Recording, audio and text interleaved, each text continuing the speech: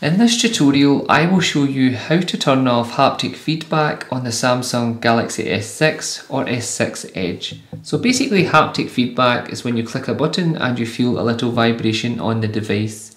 So to turn this off we need to go into settings, so if we click on apps, settings, then go into sound and notifications, click on vibrations and now you will see that we have vibrating feedback on both the keyboard and all general soft keys. So if we toggle these both off, we will now no longer have any haptic feedback on the device. And that is how you turn off haptic feedback on the Samsung Galaxy S6 and S6 Edge.